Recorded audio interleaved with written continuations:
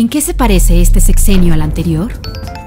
En las adjudicaciones directas se esconden múltiples escándalos de corrupción.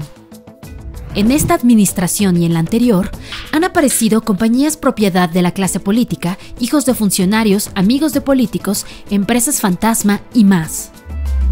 Aquí es donde se encuentra uno de los espacios más importantes para la corrupción y la impunidad, porque si se hacen las cosas mal, quien recibe un contrato puede ser una empresa o una persona que no tiene nada que ver con el bien o el servicio que se debería contratar al mejor precio. ¿Por qué?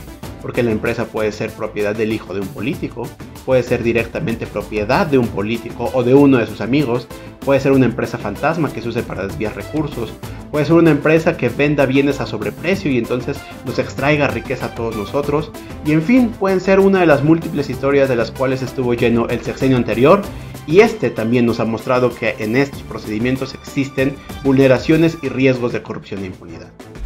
Desde MSCI seguimos con la lupa puesta en este tema y en la suspensión definitiva del nuevo procurador de la Prodecon.